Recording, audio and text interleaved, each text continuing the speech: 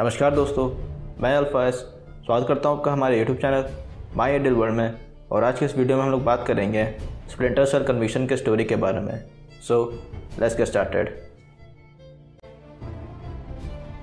दोस्तों, इस गेम की कहानी स्प्लिंटर सेल डबल एजेंट के तीन साल बाद की है, जहाँ हम गेम की शुरुआत में former navy SEAL Victor Coste को देखते हैं, जो इस गेम का नरेटर है और जिसे ब्लैक एरो के लोग इंटरोगेट कर रहे थे। ब्लैक एरो कौन है?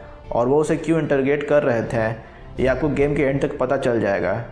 ब्लैक एरो सैम के बारे में पूछ रही थी, जो इस गेम का मेन कैरेक्टर है। और विक्टर बताता है कि सैम दुनिया के लिए मर चुका है, क्योंकि उसकी बेटी किसी कार एक्सीडेंट में मारी गई थी। इस हादसे के बाद सैम ने थर्ड एस्लोन को छोड़ दिया था और दुनिया से खुद को अलग कर लिया। फिर जब सैम को पता चलता है कि उसकी बेटी का मर्डर किया गया था, तब से वो उस किलर को ढूँढने में लगा हुआ है और रूमर्स का पीछा कर वो वेलेटा सिटी में पहुँचता है, जो माल्टा में थी। इसके बाद हम वेलेटा सिटी को देखते हैं, जहाँ एक वेटर सैम को एक फ़ोन और ब्लूटूथ देता है। वो फ़ोन ग्रीम ने भिजवाया था, जो सैम के साथ काम करती थी। ग्रीम सैम को बताती है कि कुछ लोग उसे मारने आए हैं और उसे वहाँ से जल्दी निकलना चाहिए। फिर सैम उन किलर्स में से एक किलर को पकड़, उनसे पूछता है कि किसने उन्हें वहाँ भेजा। और उस किलर से उसे एंड्री कोबिन का पता चलता है जिसने एक बार थर्ड एशलॉन के लिए काम किया था और सारा के डेथ के बारे में कुछ जानता था। सैम उसके मेंशन में पहुँचता है और कुछ इन्फॉर्मेशन निकालने से पहले वहाँ थर्ड एशलॉन के आदमी आ जाते हैं और ग्रिम के कहने पर सैम खुद को सरेंडर कर देता है।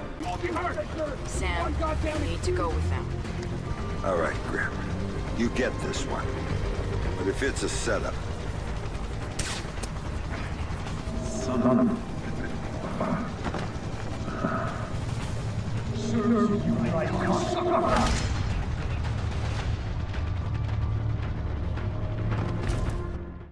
फिर इसके बाद हम ग्रीम और ब्लैक एरो के कुछ मेंबर्स को देखते हैं, जो सैम को प्राइस एयरफील्ड में लेके आई थी, जो वर्जीनिया में थी।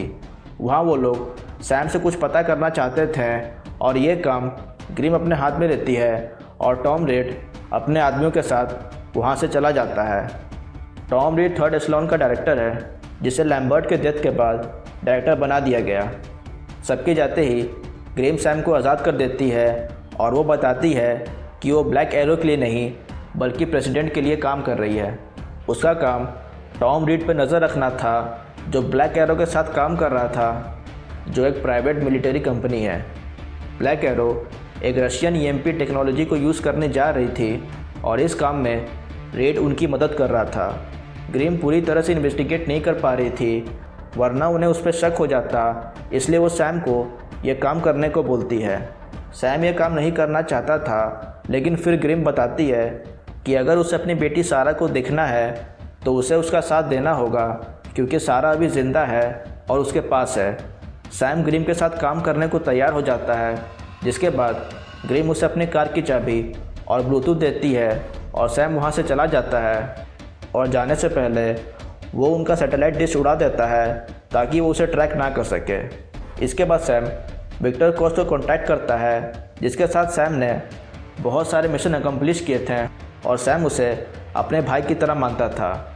इसके बाद वो विक्टर से मिलने जाता है और विक्टर बताता है कि लूसियस गैलियट जो ब्लैक एरो का सीईओ है उसका काम White Box research and development house को कॉर्पोरेट सिक्योरिटी प्रोवाइड कराना है, जो ईएमपी टेक्नोलॉजी पर काम कर रही है।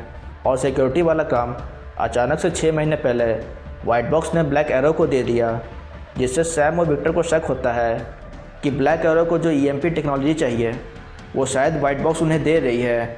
और इसके बारे में पता करने के लिए वो वाइट बॉक्स के अंदर जाता है। वहाँ पहुँचने पर वो देखता है कि ब्लैक एरो की सिक्योरिटी साइंटिस्ट से ज़बरदस्ती काम करवा रहे हैं और जो उनकी बात नहीं मान रहा, उसे वो मार दे रहे हैं और ये सब के बारे में लूसियस को कुछ भी मालूम नहीं है फिर सैम एक साइंटिस्ट को बचाता है और वो बताता है कि वो लोग एक तरह के ईएमपी जनरेटर पे काम कर रहे हैं और रॉबर्टसन उनका सारा एक्सपेरिमेंटल डेटा चुरा रहा है यह जानने के बाद सैम रॉबर्टसन के सिस्टम की तरफ़ बढ़ता है और बीच में ग्रीम सैम को उसकी बेटी से बात करवाती है. Make it quick. Dad? Sarah, so you, are you okay? You told me you were dead, Dad. They told me that you'd been killed. They told me the same thing about you. I, I, Sorry, Sam. Time's up. फिर Sam सारा data grim के analyst को access करवाता है ताकि वो कुछ पता कर सके सैम वहाँ से जाने से पहले रॉबर्टसन को ईएमपी के झटके देता है और वो मर जाता है सैम ग्रीम को लूसियस के बारे में बताता है और ग्रीम उसके बारे में पता लगाना शुरू करती है।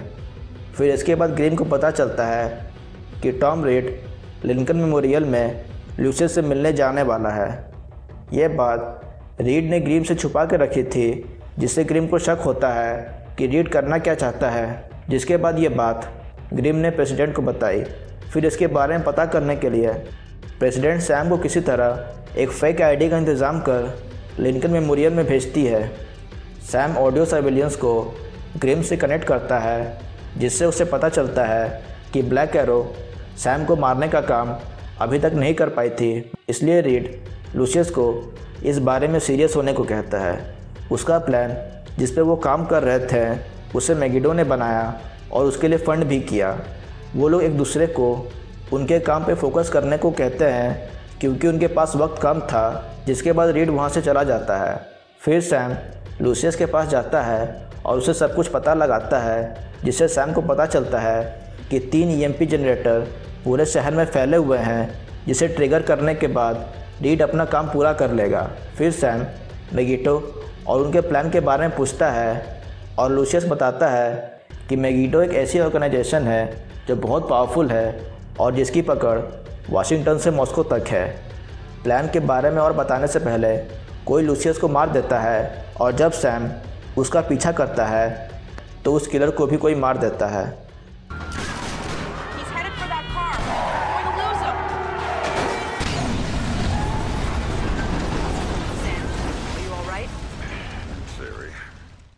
फिर और पता करने के लिए सैम थर्ड एस्लॉन के हेडक्वार्टर में जाता है और वहाँ पहुँचने पर उसे चार्ली फ्राइमैन मिलता है जो उसे सोनार गोगल्स देता है।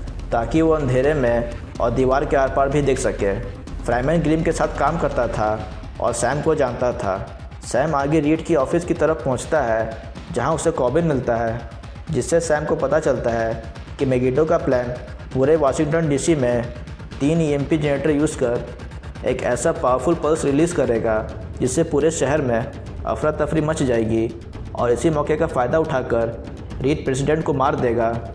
ताकि vice president Calvin Samson president बन जाए और ऐसा करने के बाद रीड के हाथ में बहुत पावर आ जाएगी। इस काम को पूरा करने के लिए रीड ने ईएमपी जनरेटर इंपोर्ट करवाए थे। फिर सैम अपनी बेटी के बारे में पूछता है और कॉबिन बताता है कि ग्रिम के कहने पर कॉबिन ने सारा की डेड बॉडी इंतज़ाम की और एक झूठा एक्सीडेंट दिखाया। ये जानने के बाद सैम ग्रिम के ऑफ़िस में जाता है, जहाँ ग्रिम सैम को एक रिकॉर्डिंग सुनाती है जो थर्ड एस्लॉन के एक डायरेक्टर लिम्बार्ड का था, जिसमें वो कह रहा होता है कि थर्ड एस्लॉन में एक ऐसा आदमी था जिसका प्लान सारा को यूज़ कर सैम को कंट्रोल में लेना था, ताकि वो उसे अपना काम करवा सके।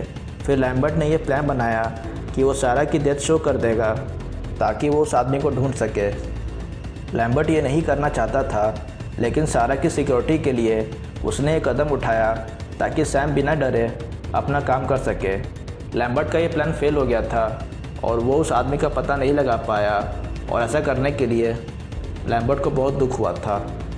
ये जानने के बाद सैम खुद पे काबू नहीं रख पाता है, लेकिन ग्रीम उसे संभलने को बोलती है, जिसके बाद वो सैम को बताती है कि वाइट बॉक्स से मेरे डाटा को एनालाइज करके उन्हें पता चला है कि पूरे शहर में तीन ईएमपी जनरेटर्स हैं और एक जनरेटर मिशिगन में है। जो सारा के अपार्टमेंट के बहुत करीब है और उसका ब्लास्ट रेडियस सारा को अफेक्ट कर सकता है। उसके पास तीनों तबाह करने का वक्त नहीं था, इसलिए वो जल्दी से मिशिगन की तरफ़ बढ़ता है और ग्रीम वाइट हाउस की तरफ़ प्रेसिडेंट को बचाने के लिए बढ़ती है। फिर वहाँ पहुँच सैम को उस साइंटिस्ट के बारे में पता चलता है, जो जनरेटर बनाने का काम कर रही थी और उसे रोक सकती थी। जनरेटर के बारे में पता चलने के बाद उसे तबाह करने के लिए सैम विक्टर से कांटेक्ट करता है और विक्टर ये जानने के बाद हेलीकॉप्टर लेके आता है ताकि वो जनरेटर को एयर अटैक से तबाह कर दे और साथ ही वो सारा को भी अपने साथ लेके आता है, जिसे ग्रिम ने सैम के लिए भेजा था। उन जनरेटर्स को तबाह करने के बाद सैम सारा से मिलता है और इसके बाद वो लोग ग्रिम के पास बढ़ते हैं। रास्ते में वो देखते हैं कि बच्चे हुए दो जनरेटर एक्टिवेट हो जाते हैं जिससे पूरे शहर में सन्नाटा हो जाता है और उनके हेलीकॉप्टर पे मिसाइल से अटैक होता है, जो असल में वाइट हाउस की एयर डिफेंस मिसाइल थी। उनका हेलीकॉप्टर क्रैश हो जाता है, लेकिन वो लोग बच जाते हैं। इसके बाद विक्टर सैम को बोलता है कि वो जाके ग्रिम की मदद करे और वो सारा का ध्यान रखेगा। वाइट हाउस पहुँचने पर हमें पता चलता है कि वहाँ United States Secret Service cops president तक पहुँचने की पूरी कोशिश कर रहे हैं। जिसे ब्लैक एरो के मशीनरीज और थर्ड एसलॉन के कुछ आदमियों ने पकड़ के रखा है। अंदर जाने पर सैम का सामना रीड के आदमियों से होता है और वहाँ कोई ब्लैक एरो के मशीनरीज नहीं, बल्कि सारे मेंबर थर्ड एसलॉन के होते हैं, जो सिर्फ़ रीड की बात मानते थे। फिर रीड के आदमियों से लड़ते हुए सैम वाइस प्रेसिडेंट सैमसन के पास पहुँचता है और उसकी इस हरकत के लिए उसे गोली मार देता है। फिर इसके बाद सैम ग्रीम के पास पहुँचता है और सैम को रीड के पास ले जाने के लिए ग्रीन सैम को गोली मार देती है, ताकि रीड डर की वजह से प्रेसिडेंट को कुछ ना कर दे।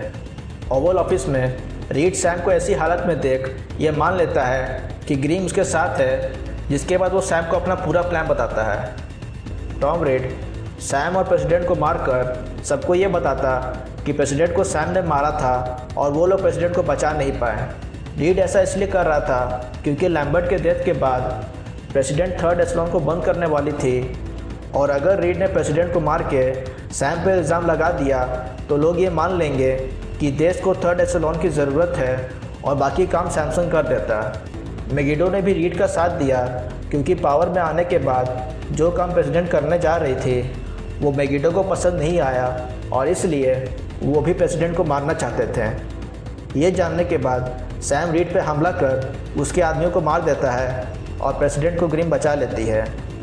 फिर सैम की इंटरोगेट करने पर रीड बताता है कि लैम्बर्ट जिस आदमी को ढूंढ रहा था, वो आदमी खुद रीड था। लैम्बर्ट को स्पाई वाली बात इसलिए पता चली क्योंकि ऐसा रीड चाहता था ताकि वो सैम के करीब आ सके, जिसके बाद वो थर्ड एस्लॉग तक आसानी से पहुँच जाए, ताकि वाइट हाउस तक पहुँचना उसके लिए आसान हो जाए।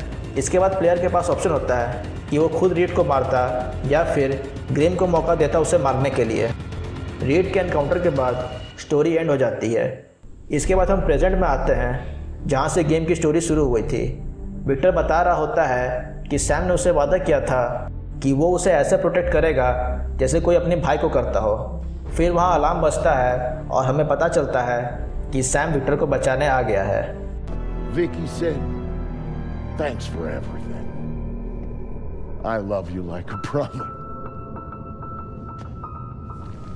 Brother.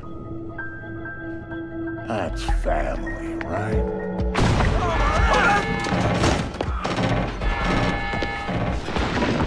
Yeah.